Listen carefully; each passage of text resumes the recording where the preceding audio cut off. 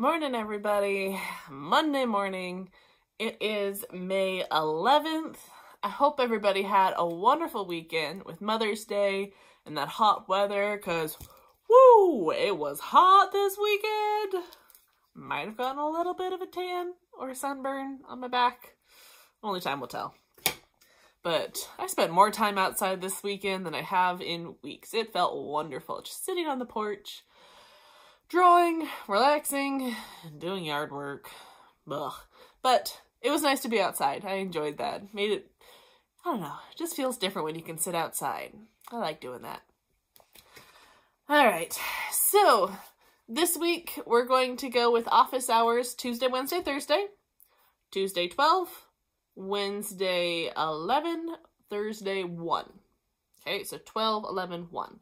It's already posted up on your guys' little titles for the classrooms. I don't know what you call that. Banner? Banner sounds like a good word. I don't know. Anyways, it's there. 12, 11, 1. Um, get finished up for your projects last week. New ones come out tomorrow. Today, I'm going to be working hard on finishing up sixth graders projects, getting some fun color lessons, color wheel, painting, that sort of thing. Uh, I'll get those posted as project ideas for 7th and 8th graders if you want them then sixth graders, you'll see those go up tomorrow for your new project. Um, I know there's been some confusion with the attendance and everything. So I just want to explain this best I can. Attendance happens on Friday. The attendance is thinking about what have you done for the week before that, so the Monday through that Friday, what have you done in Google Classroom? So that has to do with turning in projects, work, whatever. Now, as teachers, we don't care what project it was that you turned in. It can be the week before stuff. It could be the current stuff. As long as you're getting something accomplished. So I know since my stuff is sent out on Tuesdays, you have most of the week. Um, so a lot of people get their stuff in for the week during that time. But there are some people who take longer. They take the weekend, they take the Monday, Tuesday to turn in the last week's project.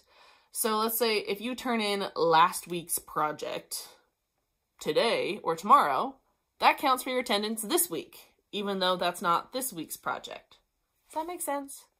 So the due dates for your projects, that's not what we're looking for for attendance. We're just looking for participation during the week. Whatever project it was that you got done and turned in during that week, that's what we care about. Right? You get that?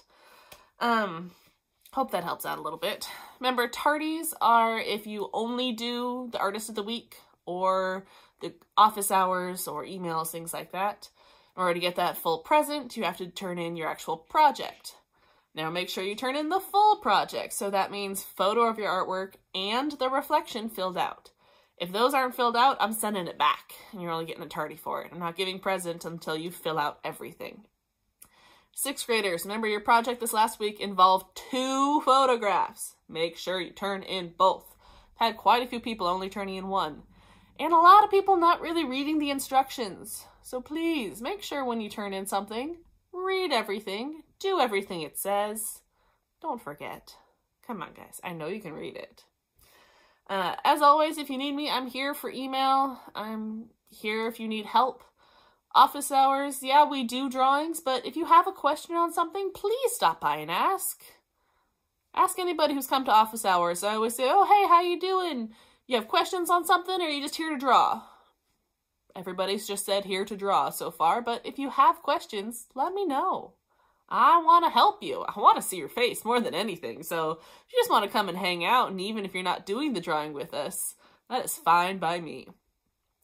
Uh, the drawings this week, I haven't fully decided. I know tomorrow's office hour drawing is going to be a unicorn, uh, cartoon unicorn.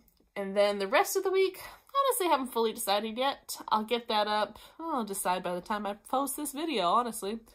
Figure that one out then. Um, thinking Goofy. Maybe Goofy on Wednesday. Yeah, Goofy and, hmm, what about... Tigger. I like it.